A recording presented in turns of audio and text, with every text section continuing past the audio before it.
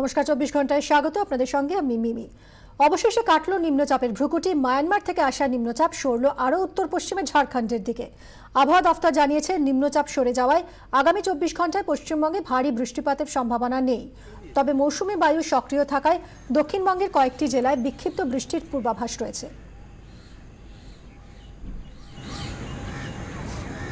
চব্বিশ ঘন্টায় এই নিম্নচাপ কিন্তু আরও উত্তর পশ্চিম দিকে সরে যাবে। সেই কারণে আবহাওয়া ইতিমধ্যেই দক্ষিণবঙ্গে ভালো হতে শুরু করছে এবং আগামী চব্বিশ ঘন্টায় আরও ভালো হবে। ক্ষিপ্ত বৃষ্টি কোনো কোনো জায়গায়, তবে ভারী বৃষ্টির সতর্কবার্তা বা সম্ভাবনা। আগামী আটচল্লিশ ঘন্টায় রাজ্যের কোনো জেলার ক্ষেত্রেই দেখা যাচ্ছে না। এদিকে দুর্গাপুর ব্যারেজ থেকে ফের জল ছাড়া হলো আজ প্রায় এক লক্ষ এগারো হাজার কিউসেক হারে জল ছাড়া হয়েছে। মায়ানমার থেকে আসা নিম্নচাপ সরে গিয়েছে ঝাড়খণ্ডের দিকে। বিকেল থেকে ঝাড়খণ্ডে শুরু হয়েছে প্রবল বৃষ্টি। সেক্ষেত্রে চাপ বাড়ছে ডিভিসির জলাধারগুলির ওপর। এক লক্ষ কিউসেক হারে জল ছাড়ায় নিম্ন দামোদর অববাহিকায় বিস্তীর্ণ এলাকা বানভাসী হওয়ার আশঙ্কা। ডিভিসিকে নিয়ন্ত্রিত জল ছাড়ার অনুরোধ করেছে রাজ্য প্রশাসন। আজ নবান্নে মুখ্য সচিবের সঙ্গে বৈঠক করেন ডিভিসি কর্তারা। ডিভিসি কর্তৃপক্ষ জানিয়েছে এখনও পরিস্থিতি নিয়ন্ত্রণে।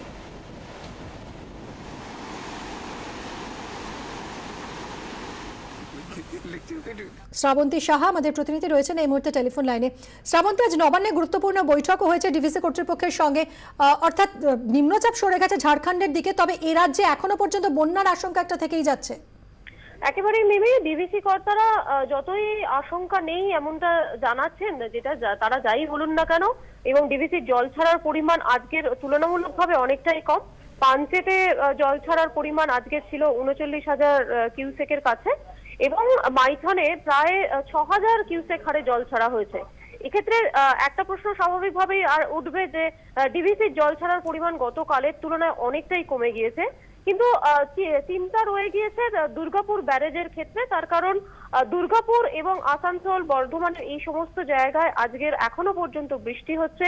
বৃষ্টি হবে ঝাড়খণ্ডে, বৃষ্টি হতেও শুরু করেছে ঝাড়খণ্ডের বিস্তীর্ণ এলাকা জুড়ে। সেক্ষেত্রে যেহেতু দুর্গাপুর ব্যারেজে এই মুহূর্তে জলে, জল ছাড়ার পরিমাণ এক লক্ষ ছাড়িয়েছে চিন্তা যেটা রয়েছে যে আগামীকাল যদি ঝাড়খণ্ডে বৃষ্টি যদি প্রবল হয়, অর্থাৎ দামোদরের নিম্ন অববাহিকায় যদি বৃষ্টিপাত প্রবল হয়, সেক্ষেত্রে যেটা সমস্যা হবে যে ডিভিসি কিন্তু জল ছাড়ার পরিমাণ ডিভিসি কে বাড়াতেই হবে। এবং এই মুহূর্তে দুর্গাপুর ব্যারেজ, তাদের যদি জল ছাড়ার পরিমাণ এক লক্ষ ছাড়ায়, আগামীকাল যদি ডিভিসি আরও বেশি জল ছাড়ে, তাহলে কিন্তু অবশ্যম্ভাবী একটা বন্যার সম্ভাবনা তৈরি হবে। তার কারণ আমরা জানি যে, স্বাভাবিকভাবে এক লক্ষ কিউসেকের হারের যদি বেশি জল ছাড়া হয় তাহলে একটা বন্যার পরিস্থিতি তৈরি হয়। সেই বিষয়টাতেই কর্তাদের চোখে আপাতত চিন্তার ভাঁজ কপালে। যদিও আলিপুর আবহাওয়া দপ্তর কিছুটা হলেও আশ্বাস দিয়েছে, তাদের যেটা বক্তব্য রয়েছে যে আগামীকাল যেহেতু আজকে দক্ষিণবঙ্গের বৃষ্টি প্রায় হবে না বলা যেতে পারে, বিক্ষিপ্ত কয়েকটি জায়গার বৃষ্টি ছাড়া।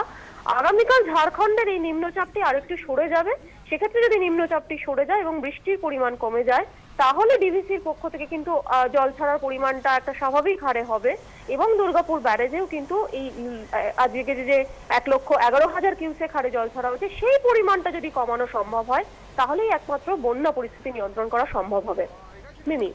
ধন্যবাদ শ্রাবন্তী। শ্রাবন্তী শাহ আমাদের প্রতিনিধির সঙ্গে আমরা কথা বললাম। এদিকে দুর্গাপুর, আসানসোল, বর্ধমানে এখনও বৃষ্টি পড়ছে। ঝাড়খণ্ডে তো বৃষ্টি ক্রমশই বেড়ে গেছে, কারণ নিম্নচাপ ঝাড়খণ্ডে প্রবেশ করেছে। আমাদের প্রতিনিধি বাসুদেব চট্টোপাধ্যায় এই মুহূর্তে রয়েছেন টেলিফোন লাইনে। আসানসোলের কি পরিস্থিতি এখন বাসুদেব? দেখো আসানসোলে যেমন আস্তে আস্তে মেঘ পরিষ্কার হতে শুরু করছে, ঠিক সেরকমই দেখা যাচ্ছে যে ঝাড়খণ্ডের যে বিস্তীর্ণ এলাকা, ধানবাদ, জামতারা ওইদিকে, দেওঘর ওইদিকে তেনুঘাট যে এলাকাগুলো আছে, সেদিকে কিন্তু বৃষ্টির পরিমাণ একে বাড়তে শুরু করেছে। সকালে থেকেই বৃষ্টি ধীর হচ্ছিল, কিন্তু যত সময় বাড়ছে, যত সন্ধে হচ্ছে, এখন দেখা যাচ্ছে, শোনা যাচ্ছে যে ঝাড়খণ্ডের কথা বলে যেটা জানা গেল, ঝাড়খণ্ডে কিন্তু চরম বৃষ্টি শুরু হয়ে গেছে এবং যেটা ডিবিসি কর্তৃপক্ষ আজকে জানিয়েছে বিজয় কুমার মহাশয়, যে টেনুঘাট কর্তৃপক্ষ ইতিমধ্যেই সতর্ক বার্তা জারি করে দিয়েছে যে তারা যেভাবে যেভাবে বৃষ্টি চলছে ঝাড়খণ্ডে যদি বৃষ্টির পরিমাণ বাড়ে, তারা কিন্তু তিরিশ হাজার স্কোয়ার ফিট তারা জল ছাড়বে এবং যেটা জানা যাচ্ছে যে তারা যদি জল ছাড়ে, তাহলে ডিবিসি কর্তৃপক্ষ জল ছাড়তে বাধ্য এবং সেন্ট্রাল ওয়াটার কমিশন ইতিমধ্যেই জানিয়ে দিয়েছে ডিবিসি কর্তৃপক্ষকে যে যেভাবে ঝাড়খণ্ডে জল হচ্ছে, তাতে কিন্তু তেনুঘাটকে তিরিশ হাজার কিউসেক জল, তিরিশ হাজার কিউসেক জল ছাড়তে হবে এবং তিরিশ হাজার কিউসেক জল যদি তেনুঘাট ছাড়ে, সেই জলটা এসে পা- পা- পাঞ্চেত ড্যাম্পে এসে যাবে এবং পাঞ্চেত ড্যাম্পে জল ছাড়লে পাঞ্চেত ড্যাম দামোদর নদীর মাধ্যমে সেই জলটা কিন্তু গিয়ে দুর্গাপুর ব্যারেজে চলে যাবে। এবং দুর্গাপুর ব্যারেজকে কাল ভোরবেলায় ভোর দুটো থেকে তিনটের ভেতরে দুর্গাপুর ব্যারেজ সেই জলটা কিন্তু ছাড়বে প্রায় পঞ্চাশ হাজার কিউসেক জল দুর্গাপুর ব্যারেজকে ছাড়তে হবে। এই এই পরিস্থিতি এখন পর্যন্ত ঝাড়খণ্ডে হয়ে যাচ্ছে তবে আসানসোলে যেটা দেখা যাচ্ছে যে আসানসোল শিল্পাঞ্চলে আস্তে আস্তে কিন্তু মেঘ কাটছে তবে ঝাড়খণ্ডের যে বিস্তীর্ণ এলাকা পশ্চিমবঙ্গ লাগোয়া, সেইগুলো কিন্তু বৃষ্টির পরিমাণ আস্তে আস্তে বাড়তে শুরু করেছে। মিমি। ধন্যবাদ, বাসুদেব। বাসুদেব চট্টোপাধ্যায়, আমাদের প্রতিনিধির সঙ্গে কথা বললাম এবং এই মুহূর্তে গত কয়েকদিনের বৃষ্টিতে জলমগ্ন বাঁকুড়ার বিভিন্ন এলাকা। নাগারে বৃষ্টির সঙ্গে মুকুটমণিপুর বাঁধের ছড়া জলে ভয়াবহ পরিস্থিতি দেখা দিয়েছে বাঁকুড়ায়। গন্ধেশ্বরী নদীর পাড় ভেঙে ঘরবাড়ি জলের তলায় চলে গেছে। জলের তোড়ে ভেঙেছে বহু পাকা বাড়ি। ক্যামেরায় ধরা পড়েছে দোকান ভেসে যাওয়ার ছবিও। ভেসে যাচ্ছে বড় বড় গাছ। দেখছেন কীভাবে ভেঙে পড়ছে জলের তোড়ে বড় বড় গাছ। কোনো ক্রমে অন্যত্র চলে যাওয়ার চেষ্টায় রয়েছেন মানুষ। হিরক মুখার্জি আমাদের প্রতিনিধি এই মুহূর্তে রয়েছেন বাঁকুড়া থেকে টেলিফোন লাইনে। হিরক, প্রশাসনের তরফে কি ব্যবস্থা নেওয়া হচ্ছে? এখন ঠিক কি পরিস্থিতি? মিমি দেখো, আজকে সকাল থেকে সেভাবে বৃষ্টি না হলেও কিন্তু ধীরে বৃষ্টি কিন্তু সকাল থেকে দেখা যাচ্ছে এবং গত চব্বিশ ঘন্টায় বাঁকুড়া জেলায় মোট বৃষ্টিপাত হয়েছে একশো বাহাত্তর মিলিমিটার এবং এক নাগারে যে বৃষ্টি বৃষ্টির ফলে বাঁকুড়ার ওপর দিয়ে যে সমস্ত নদী বয়ে গেছে, অর্থাৎ গন্ধেশ্বরী, দ্বারকেশ্বর, শিলাবতী কংসাবতী, ছালি, এই সমস্ত নদীগুলিতে জলস্তর ক্রমশ বাড়তে শুরু করেছে এবং বৃষ্টিপাতের ফলে জমিতে দাঁড়িয়ে থাকা যে জল, সেই জল এই মুহূর্তে নামতে শুরু করেছে। তার ফলে কিন্তু জলস্তর বাড়ার যে বিষয়টা, সেটা কিন্তু এখনও পর্যন্ত অব্যাহত রয়েছে এবং গন্ধেশ্বরী নদী বিশেষ করে ভয়াবহ আকার নিয়েছে এবং এই গন্ধেশ্বরী নদীর দুকুল ছাপিয়ে জল কিন্তু দুপাশের এলাকায় ঢুকে পড়েছে। বহু বাড়ি জলমগ্ন হয়ে পড়েছে। বাঁকুড়া শহর লাগোয়া সতীঘাট এবং পলাশতলা এলাকায়। সেই এলাকায় প্রচুর বাড়ি যেমন জলমগ্ন হয়েছে তার পাশাপাশি প্রচুর গাছ ভেঙে পড়েছে। এলাকায় ত্রাণ শিবির খোলা হয়েছে। আজ সকালে বন্যা দুর্গ- দুর্গত এলাকায় জেলা শাসক মমিতা বোদারা বসু এবং জেলা পরিষদের সভাধিপতি অরূপ চক্রবর্তী তারা যান এবং তারা যেটা জানিয়েছেন যে বিভিন্ন বন্যা দুর্গত এলাকায় ত্রাণ শিবির খোলা হচ্ছে। এবং তার পাশাপাশি জেলার পঞ্চায়েত স্তরের এবং ব্লক স্তরের সমস্ত আধিকারিককে সতর্ক থাকতে বলা হয়েছে সতর্ক থাকতে বলা হয়েছে জেলা ব্যবস্থাপন বিপর্যয় ব্যবস্থাপন দপ্তরকেও। অনেক ধন্যবাদ হিরক। বন্যা না বন্যা পরিস্থিতি সরকারি ভাষা যাই বলা হোক অত শত বোঝার অবকাশ নেই দুর্গাপুরের বিস্তীর্ণ এলাকার বাসিন্দাদের। টানা বৃষ্টিতে তারা এখন জলবন্দী। দুর্গাপুর থানা এলাকা main gate Tamla Waria police ফাঁড়ি জল থই থই। পুকুর বাড়ি রাস্তা মিলেমিশে একাকার। জল নামার লক্ষণ তো নেই, উল্টে আরও জল বাড়ছে। কোথাও কোথাও জল বাড়ির কার্নিশ ছুঁই ছুঁই অবস্থা। চিত্তরঞ্জন দাস আমাদের প্রতিনিধি রয়েছেন এই মুহূর্তে টেলিফোন লাইনে। চিত্তরঞ্জন, দুর্গাপুরের এখন ঠিক কি পরিস্থিতি? দুর্গাপুর ব্যারেজে আজ এক লক্ষ এগারো হাজার কিউসেক হারে জল ছাড়া হয়েছে। তারপর এখন ঠিক কি অবস্থা? মিমি দুর্গাপুরে এক লক্ষ এগারো হাজার কিউসেক জল ছাড়া হচ্ছে। এর ফলে দুর্গাপুরের দামোদরের নিচের অংশটা হাওড়া, হুগলি সহ বর্ধমান জেলার বেশ কিছু অংশ বন্যা পরিস্থিতি তৈরি হতে পারে, কিন্তু দুর্গাপুরে, শুধু দুর্গাপুর শহরের যে অংশটা কাল থেকে বৃষ্টির ফলে সমস্যায় পড়েছে, যেখানে দুর্গাপুরের তেরো নাম্বার ওয়ার্ড, পনেরো নাম্বার ওয়ার্ড এবং বারো- বারো number ward, Tamla main gate সহ বিভিন্ন এলাকায় স- প্রচুর জল জমেছে এবং সেখানে মানুষকে মানুষ জলে আটকে আছে এবং তবে এখন পরিস্থিতি কিছুটা স্বাভাবিক হলেও এখনও পর্যন্ত জল জমে আছে। পুলিশ প্রশাসন মিলে তাদের সাহায্য করছে এবং প্রশাসনের তরফে কি ব্যবস্থা নেওয়া হচ্ছে চিত্তরঞ্জন?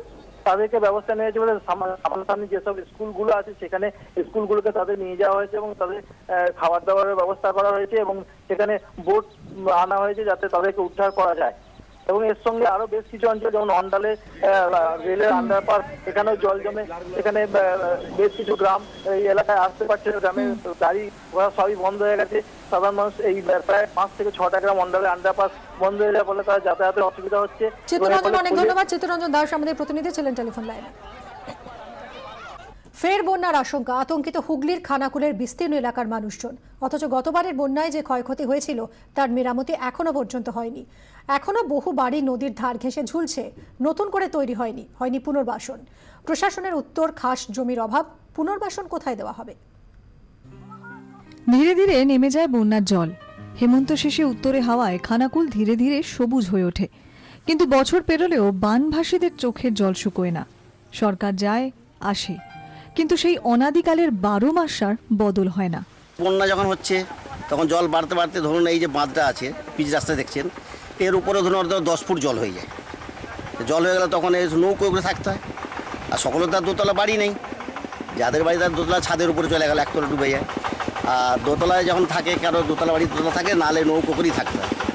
একটা তিন কামরা বাড়ি তার দু কামরা ধসে চলে গেছে। এক কামরাতেই লোক বসবাস করছে, ওই খুঁটিতে কোনোভাবে ঠেক টুক দিয়ে আছে। রূপনারায়ণ আর মুন্ডেশ্বরী দামোদরের দুই সাকরেদ তটস্থ করে রাখে মেদিনীপুর লাগোয়া হুগলির খানাকুলকে প্রতি বছর জলে ভাসে। মাটির বাড়ি হলে তো রক্ষে নেই। একতলা পাকা বাড়ি থাকে জলের তলায়। নৌকো কিংবা দোতলায় বাস সারাটা বর্ষা। গত বর্ষাতেই খানাকুলের মাডোখানা অঞ্চলের পানশিউলি, ঢলডাঙ্গা, শশাপতা কামদেক চক হানুয়ার বহু বাড়ি জলে তলিয়ে গিয়েছিল। গত বছরের বন্যার হামলার সাক্ষী হয়ে এখনও দু একটি বাড়ি ঝুলছে নদীর ধারে। দেখার কেউ নেই। একতলা বাড়ি যারা তারা ছাদের উপরে থাকে। ওরা আমাদের মাটির বাড়ি আমার মাটির বাড়ি। আমার বাড়ির দেয়াল ধসে যায়। কি করেন করব? তখন ওই কারও বাড়িতে সবসময় যাতায়াতের সম্ভব হয় না তো ঘর ছেড়ে। তখন ওই ডুবে গেলেও নৌকা নয় ওই তক্তবোসকে ইঁট দিয়ে ইঁট দিয়ে চাগিয়ে তক্তবোসের উপরে থাকি দেখে না কথাটা সত্য নয়। দেখে তো বটেই। ফি বছর বন্যার সময় সরকারি আধিকারিকরা নৌকা চড়ে গ্রাম ঘুরে দেখার ডিউটি করেন। আসেন নেতারা। ছবি তোলা হয় বানভাসী গ্রামের। বিলি হয় চিড়ে গুড়। কিন্তু আদতে বদল হয় না কিছুই। বিগত বন্যায় যে আমরা পঞ্চায়েতের তরফ থেকে ব্লকে তেইশটা বাড়ির ফটো সহ দিয়েছিলাম বিডিও সাহেবের কাছে। তো বিডিও সাহেব বলার পরও আজ পর্যন্ত সেই বাড়িগুলোর যে সাধারণ মানুষকে দিতে পারিনি, যদি তার সুবন্দোবস্ত করে তাহলে আমরা খুব উপকৃত হব। আকাশে ফের কালো মেঘ, দুদিন ধরে টানা বৃষ্টি। ইতিমধ্যেই জল থই থই জোয়ার শুরু হয়েছে রূপনারায়ণে। সব মিলিয়ে আবার বিপদের দিন গুনছেন এলাকার মানুষ। ব্যুরো রিপোর্ট চব্বিশ ঘণ্টা।